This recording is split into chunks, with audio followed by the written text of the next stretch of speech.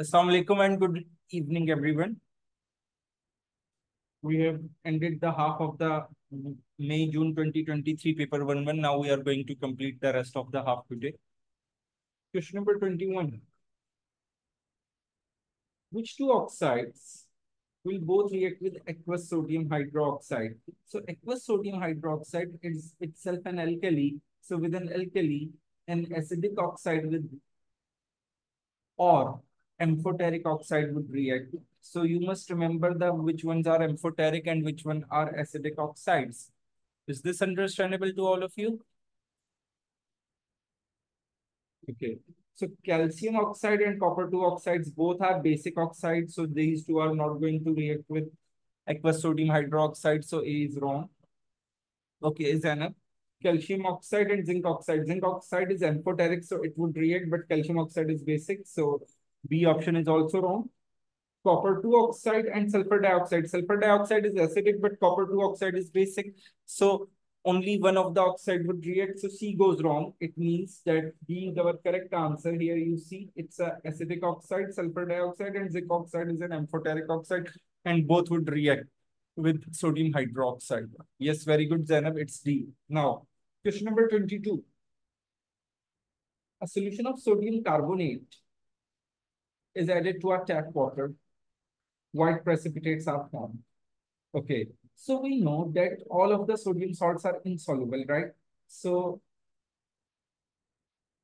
it's a sodium carbonate.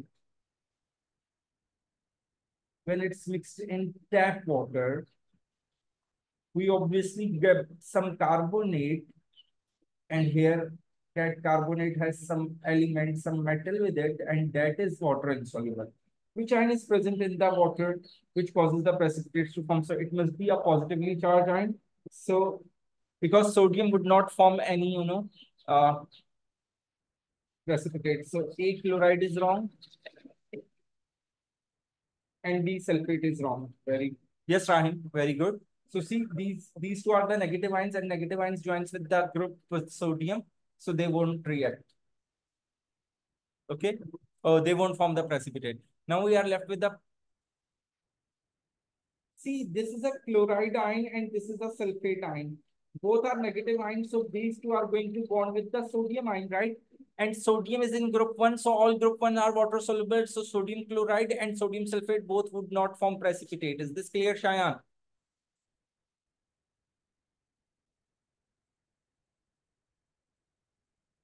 Okay. Now we are left with the carbonate ion. Here is a sodium and this is a carbonate ion. So with a carbonate ion, as carbonate ion is a negative ion, so the positive ion would react. So it forms magnesium carbonate and potassium carbonate. So again, potassium carbonate, potassium is a group 1 salt.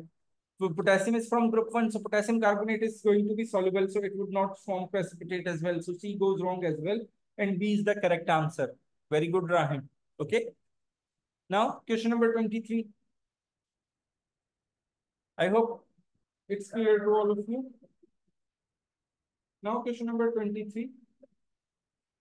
The characteristic properties of elements changes from left to right across period 2 of the periodic table. Okay.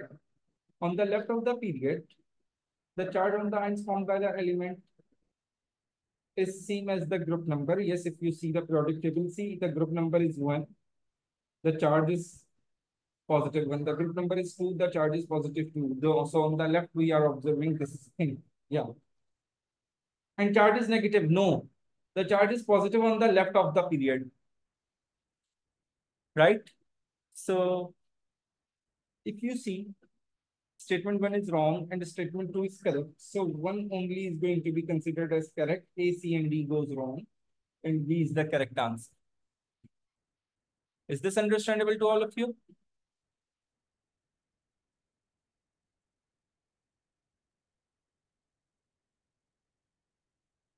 Okay.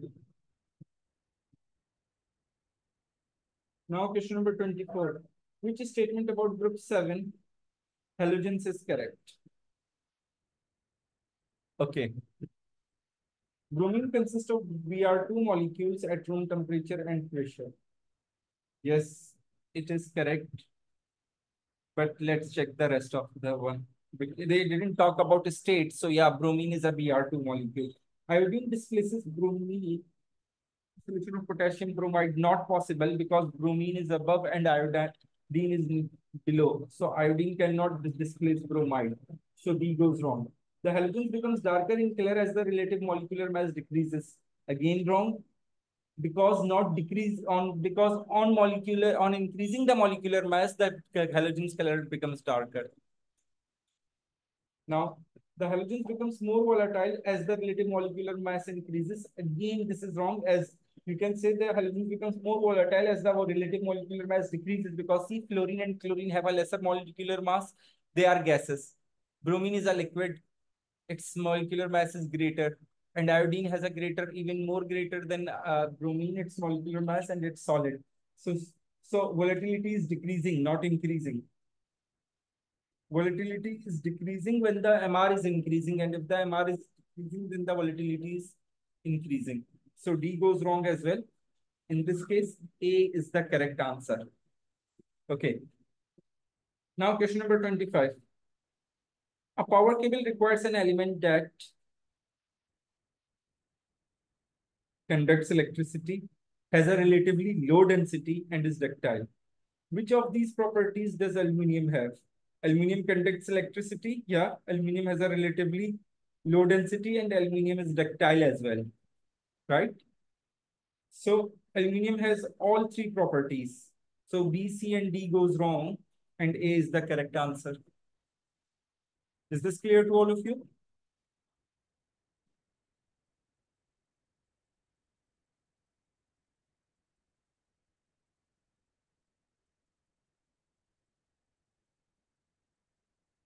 Question number 26. Which diagram represents the structure of an alloy? So I think it's very clear to all of you that B is the correct structure of the alloy. So B is the correct answer. A is of for metal, or you can say just a solid. C is a diamond, and D is a graphite, and B is an alloy. A is a solid, or metal. Okay.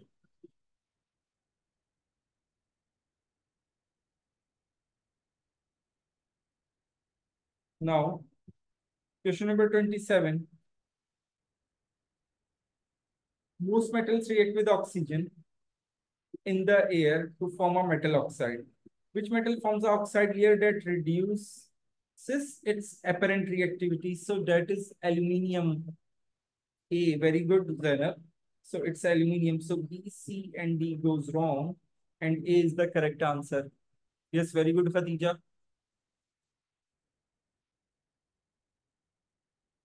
Is this clear to all of you?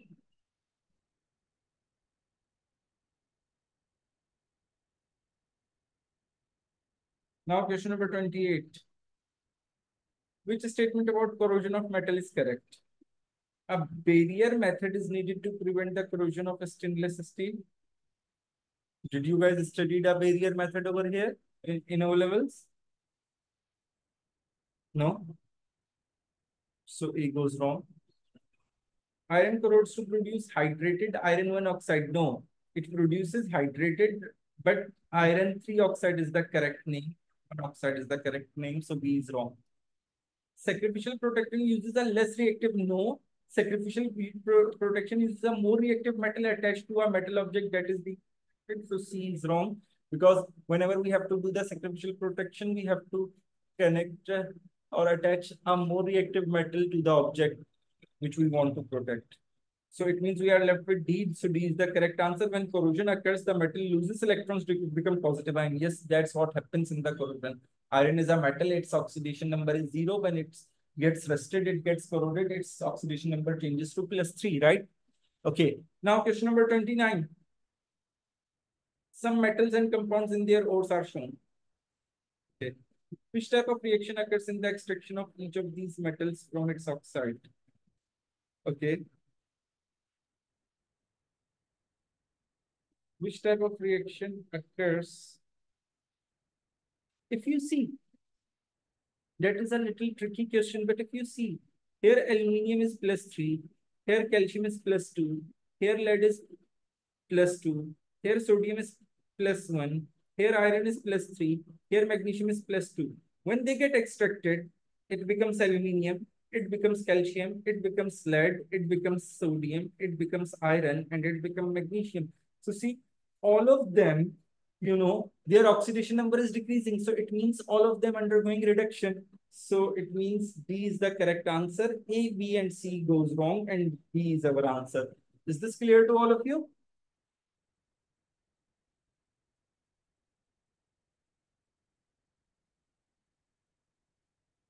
Okay. Now question number 30. Which statement about natural sources of water and domestic water supply is correct? Okay. Chlorine is used to remove taste and odors. No, chlorine is used to kill the bacteria. Metal compounds from detergents can be deoxygenated. Natural sources of water, not metal compounds, basically nitrates and phosphates from detergents will, will, do, will do this. So B statement is wrong as well. Photosynthesis provides the oxygen needed for aquatic life in the natural source of water. Yes, this can be correct. Sedimentation removes nitrates. Nitrates are water soluble. So how the sedimentation can remove, uh, you know, nitrates? So D goes wrong. So we are left with only option C. So option C is correct one. Is this clear to all of you? Because from detergents, from Shayan, from detergents, phosphates are the ones which deoxygenate the natural source of water, not the metal compounds. Because metal compound can be metal carbonate or metal sulfate or metal chloride, but all of them does not deoxygenate. Only if the nitrate ions are there and the phosphate ions are there, they are going to deoxygenate water. So you have to specific about metal compounds containing nitrates or phosphate and phosphates from detergents can deoxygenate natural source of water. Is this clear? Now question number 31. Gases that may be present in air are listed. Okay. Neon, carbon monoxide, nitrogen, methane. Which gas are atmospheric pollutants? So carbon monoxide is atmospheric pollutant and methane is uh, atmospheric pollutant. So it means 2 and 4. So which means C is the correct answer. So A, B, and D goes wrong. Okay, very good, Shayan and Khatija. So C is the correct answer. Now, question number 32. Which compounds are in the same homologous series? Okay, so if you see it is, first one is, I'm writing the formula in the sequence C4H10.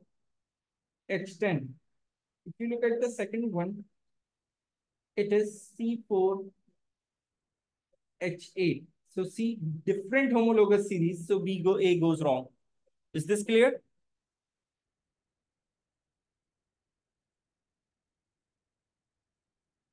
Now, if you see this C3H6, if you see this C4H8,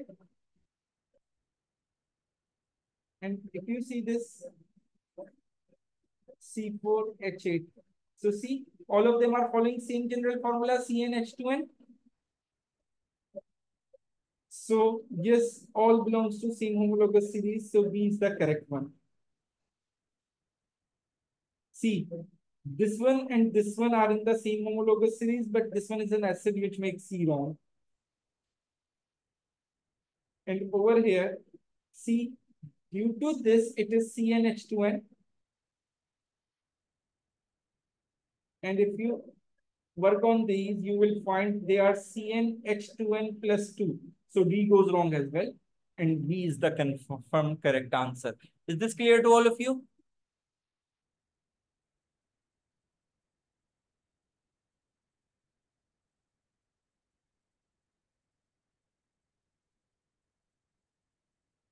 Now, question number 33. The diagram shows four structures of C4H8.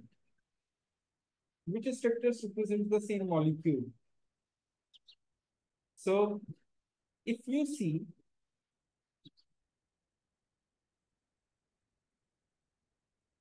if you see this one is view 1E, And if you see, this one is viewed 2E. So these two are the different ones. Right? Now, if you see this one is a branch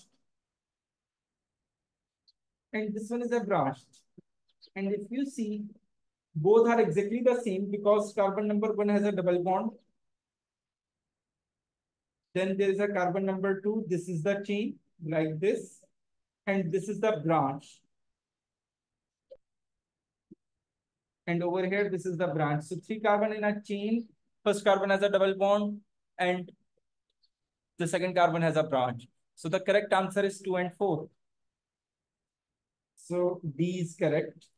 A, B, and C goes wrong. And D is our correct answer. Is this clear to all of you?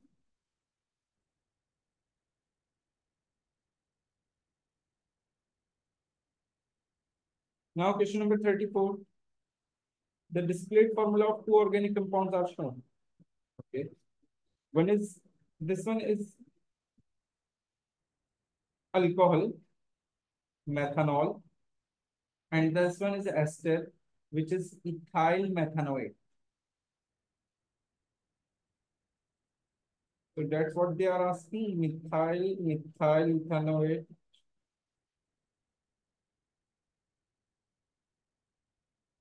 And methanoic acid. So we are left with the correct C. So C is our correct answer. Is this clear to all of you?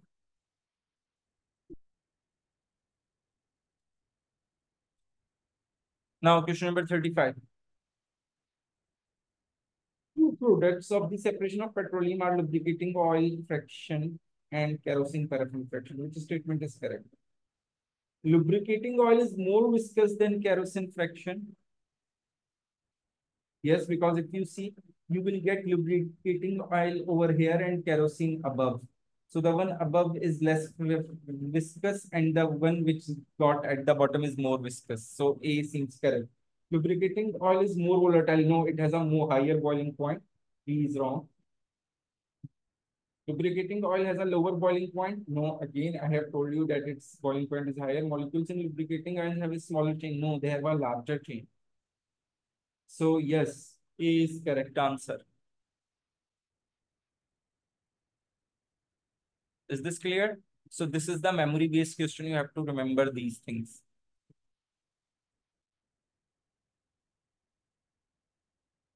Now question number 36. An incomplete equation for the reaction of propane with chlorine is shown. Okay. A student writes three statements about the reaction. The activation energy for the reaction is provided by ultraviolet light, Yes, we know that it requires sunlight or ultraviolet light. This has two different structural formula. Yes, this is correct because see, if you see there are three carbon atoms. So when chlorine gets substituted, so there is a possibility that either chlorine gets substituted or carbon number one, or it can be substituted at carbon number two. So you will get a one chloropropane or a two chloropropane. X is an acidic gas. Yes, X is HCl. So it's an acidic gas. So all three statements are correct, right? So A is correct, B, C, and D goes wrong. And A is the correct answer. Is this clear to all of you? Now, question number 37. Glycerol is an alcohol with three OH groups per molecule. As you see, each carbon 1, 2, and 3 all have OH group.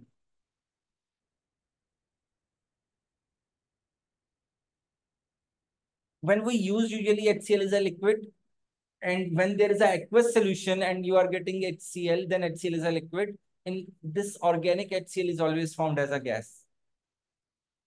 When a halogen is reacting, a chlorine is reacting with the organic molecules, okay? What is the equation for the combustion of glycerol? Okay. Let's have a look. How many carbons we have? Three. How many hydrogens we have? Six, seven, eight. And how many oxygens we have? Three. Now it is reacting with the oxygen, forming three moles of carbon dioxide and 8 hydrogen are there, so 4 moles of water. Is this understandable to all of you? So if you see 6 oxygen over here and 4 oxygen over here, right? So 6 plus 4 gives me 10 oxygens.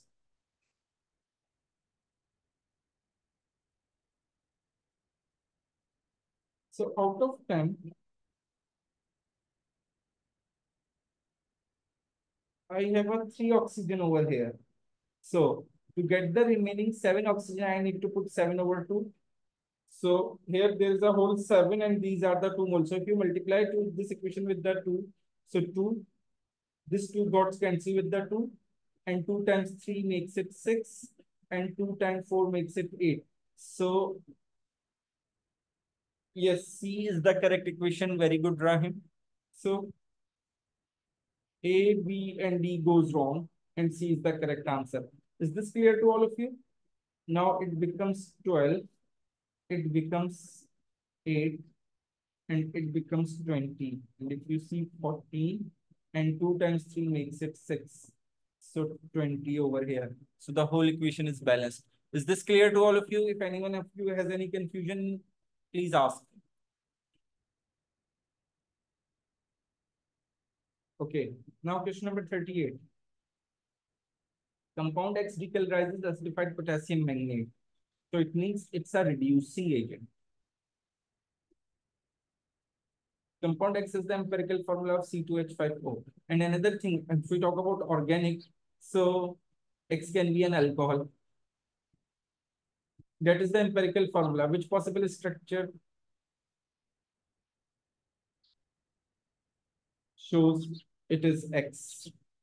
So it's C2H5O, right?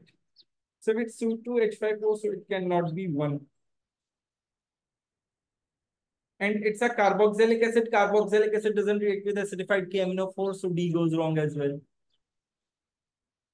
So if you see 1 only and 4 goes wrong, it contains 1. So A is wrong on. So you are left with only option C. So E, C is the correct answer. And if you work on it, you will find C. How many carbons we have? 4. If you count the hydrogens, 8, nine, ten. And how many oxygens you have? If you simplify it, you will get C2H5O. So yes, it's correct. Now look over here. It is also C4H10O2. And if you simplify it, you will also get C2H5O. Is this clear to all of you?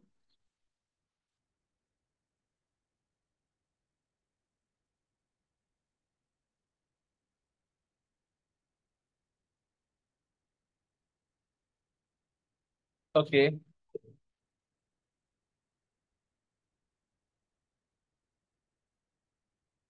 Now, question number 39. Yes, Khatija, what is the confusion over here?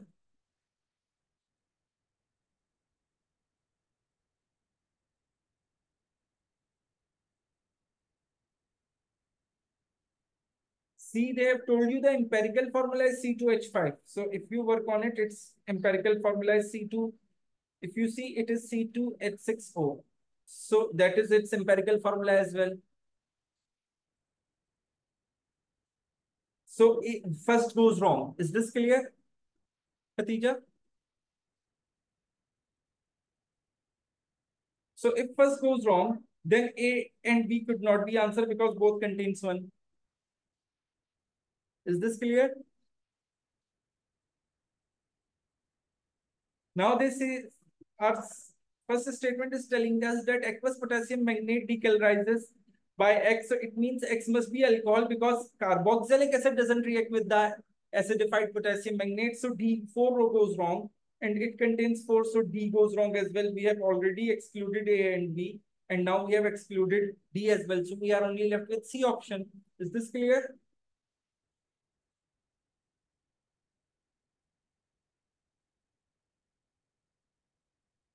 Okay. Now question number 39. Which statement is correct? A filtrate is left on the filter paper. No, a filtrate is which pass through the filter paper, right? A saturated solution contains only substance with a single bond. No, a saturated solution contains maximum capacity of solute in it. So B goes wrong as well. A solute is a substance that dissolves a solvent. No, a solute is a substance that is dissolved in a solvent. So C goes wrong. It means D is our correct answer. A solution can never be described as pure. Yes, it's always a mixture. It is. It has more, two or more than two substances in it. Is this clear to all of you? Now question number 40.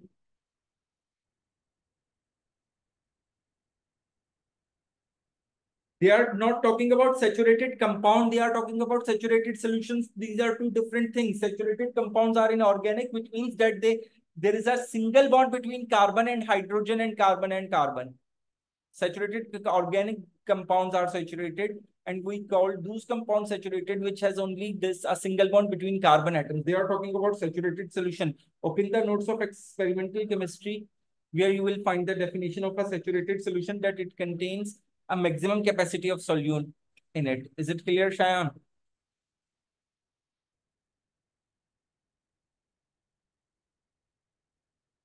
So saturated compound and saturated solution are two different things. Now question number 40. A student does two experiments. In experiment one, ammonium carbonate is reacted with dilute hydrochloric acid. Okay. So ammonium carbonate HCl forms ammonium chloride, CO2 and water. I am not balancing it. Ammonium carbonate is heated with sodium hydroxide. So ammonium carbonate when heated with an alkali, if you guys recall, salt is formed. Sodium carbonate water, and ammonia gas separates. In each experiment, the gas evolved is tested with damp lead, red litmus paper and damp, damp blue litmus paper and damp red litmus paper. Okay, here there is a carbon dioxide and carbon dioxide is an acidic. Okay, so in experiment one, which rock correctly shows the color of the both pieces of litmus at the end of each experiment. Okay. So what happens here? A carbon dioxide is being released. So it turns damp red litmus blue because it's an acidic gas. So acidic gas turns blue litmus red. Damp blue litmus red. And this red stays red. And over here, ammonia is releasing. And ammonia is a, you know, basic gas. So it turns damp red litmus blue over here. And blue litmus stays blue. Is this understandable to all of you? Because it's a basic gas and it's an acidic gas. So in experiment one, both the litmus has red color and in experiment two, both the litmus has blue color. So C is the correct option. And A, B, and D are wrong. Is this clear to all of you? So here we have ended the whole paper. Okay. Uh,